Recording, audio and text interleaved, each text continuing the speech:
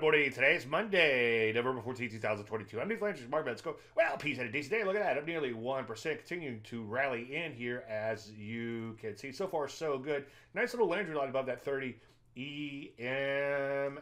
Longer term, still in a downtrend, but hey, as I've been preaching, you have to start somewhere. Take a look at NASDAQ. As you can see, decent day there, too. Look at that, up nearly 2% in here. It, too, in a longer term downtrend, but shorter term, obviously, beginning to improve. Two days of Landry line above the 30 EMA. Let's take a look at the Rusty. Rusty looking pretty good in here. Off its best levels, still looking pretty good nonetheless. Nice little Landry line here with that 30 EMA. Nice little bottoming action here, too, longer term, as I've been saying quite a bit. Energy's hanging in there, looking pretty good, just off, just a smidge off of all-time highs. So far, so good there. We could see some setups here on a pullback. Some other areas like electronics, even though, or semiconductors, even though they remain a long-term downtrend, they have been improving quite a bit as of late. Look at that, over 2.5% on Friday. So what do we do? Well, let's just see if we can get some follow through and then look to play pullbacks. That's pretty much it.